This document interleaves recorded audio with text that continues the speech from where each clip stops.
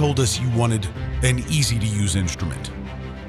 Highly flexible, with a high mass selectivity and a robust ICP, without compromise on sensitivity, driven by modern software, supporting all sample inlet systems.